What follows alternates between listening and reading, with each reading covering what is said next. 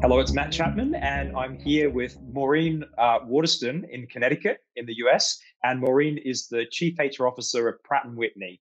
Uh, good evening, Maureen. Good evening, Matt. Nice to speak to you. Yeah, good to speak to you as well. Good to see your your, your face again. Uh, how are you? Actually, doing very well. Honestly, um, I uh, I can't complain. We have adapted well to working remotely. My team's doing well, so all in all, very well.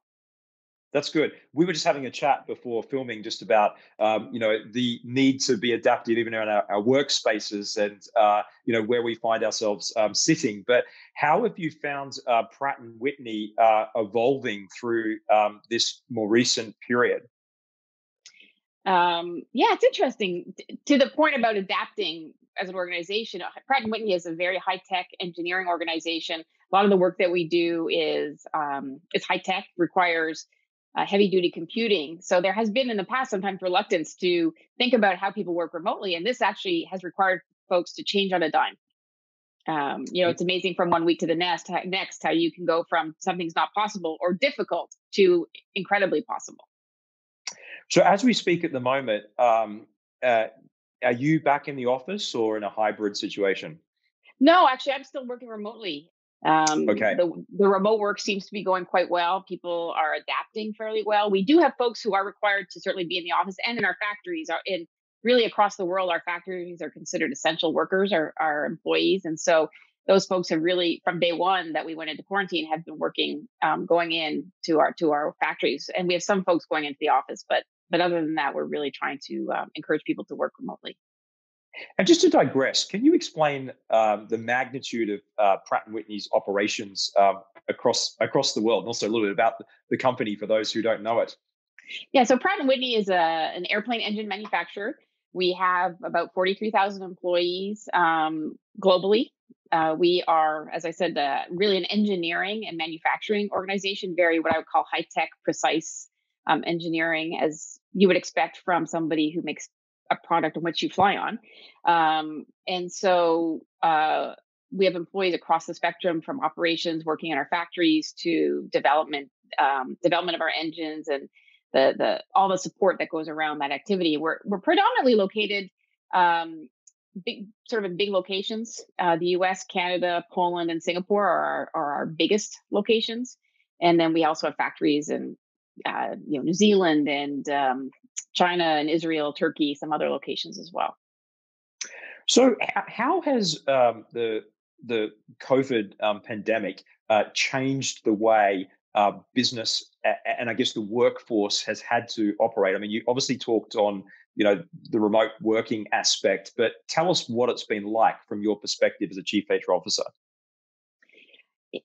Yeah, it's interesting because I think we have really, as an organization, um, frankly, we, maybe some background. We spent the last few years really working on our culture, and we've been focused on leadership and building leaders that are empowered and that um, that allow their employees to be empowered and that are have some clarity around their purpose and their mission, and so that employees understand what they need to go do. Um, we were faced for the last few years with significant growth in our business. And so we weren't going to be able to accomplish that without really people being empowered to do those roles. And I think that has served us very well as we've gone into the pandemic, as we spent time coaching our leaders, educating our leaders, training our leaders um, on how to be an empowering leader. And that's enabled them to shift um, and to work remotely. And they people have done a nice job of staying connected with their workforce um, you, you, know, you, you hear uh, through the organization that it, leaders are having regular, you know, they're really doing their regular meetings one on one, and they're doing one on ones.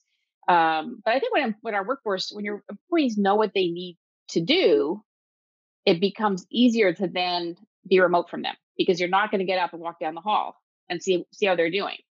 You're going to be clear on what the mission is, what the task is, and folks are going to go and deliver on what that is. And I think we've done that really well. We've really been able to demonstrate, I think, some agility um, and adaptability to the environment.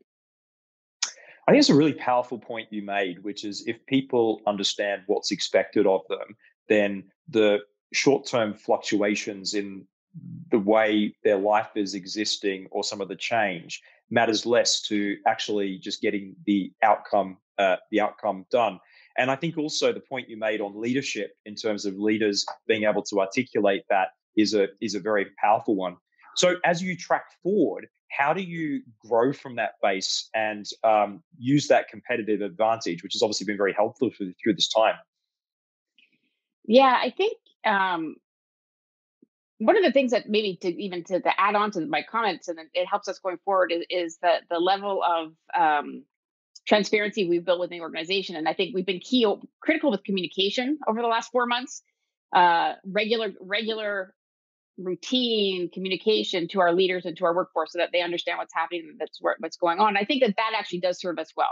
Listen I, i'm in the aerospace industry. We all know that times are a bit challenging um, and might continue to be challenging for for um, a certain period of time going forward. And what we want to be able to do is to be clear with employees and have our leaders be clear with employees about what they're expected to do right? So that that's going to continue going forward we reprioritized for 2020. Um, we've communicated that to our workforce. We've communicated that to our employees, and just developing those muscles and those um, skill sets has really is really going to help us as we continue to navigate the industry that's going to going to be ahead of us going forward.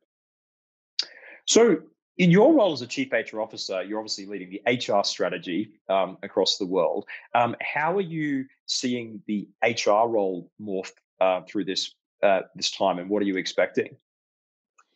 yeah, I think that um, for those of us in the HR uh, profession, uh, we have seen perhaps new renewed appreciation for the value that we we all bring to the table, um, and you know what I what I see in my in the HR team and that I work with um, at Pratt and Whitney is first of all folks that are completely dedicated and um, have really demonstrated their ability to to be agile. And I, I know I've used that word before, but I think about being in an organization that was growing significantly over the last four or five years. You know, at Pratt and Whitney, we hired probably 20, 25,000 people start from the beginning of 2016 through the end of, of uh, 2019.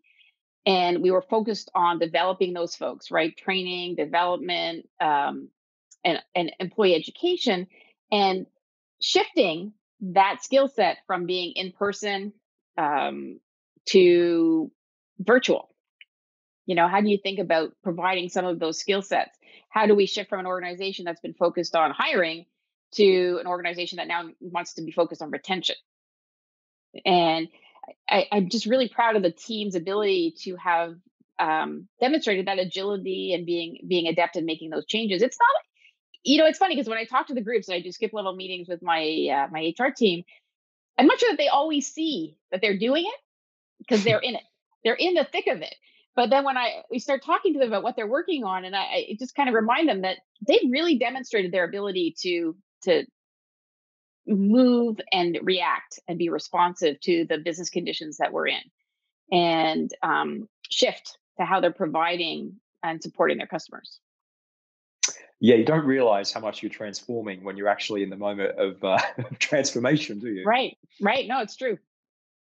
And so, how do you equip uh, HR um, team members, I guess, with the ability to go forth in this ever changing world? Because, like right now, obviously, everyone is l- relying on what they've learnt, but also applying it in the now. Um, there, there comes a time where you know we we we need the strategic planning or the the the the, the, the sort of release from the now to actually exist in the in the future what comes to mind on that yeah that it, it, it, that's a great question i i think we're a little bit in the thick of the now still hmm. um mm. for a large part of the, the the hr team but i think what what we are really focused on is trying to first of all i'm a big believer in communication right so we actually have regular multiple times a week meetings with the HR team just to kind of keep them present and up to date. They're not privy necessarily necessarily to all the conversations that we're all having. Um, but I want them to be aware and we, they need to be connected to what's happening from an organizational perspective. And you know, sort of start connecting the threads for, for the for the organization um, so that they understand what the decisions are, why we're making the decisions, um, you know, I remember my early days um, as an HR professional, and you know, the first time you hit a tough patch, you don't know how to do some of this work, and so really taking the time to make sure people understand and and um, know what they have to work on. some of our some some of my um, colleagues, not just in HR but across the company, uh, when you think about from a generational perspective, they actually haven't really been through these tough times. Some of them have started working since the last um, crisis, and you know the global financial crisis, 2008 time period. Um, you know, but I think about my own kids; they're in that age of working, starting to work now, and have not experienced these types of these kinds of tough times. So I think when I think about the HR community, making sure that they um, understand the impact of the work that they do uh, on the business being able to shift to lower cost opportunities to do training or being able to shift to um, supporting virtual um, virtual talent reviews or being able to do some of those types of things is really helping support, support the business and being connected to the business strategy yeah, it's a magnificent time to be um, in the HR profession. Thank you very much, uh, Maureen. It was Maureen Waterston, Chief HR Officer of Pratt & Whitney. Thank you, Matt.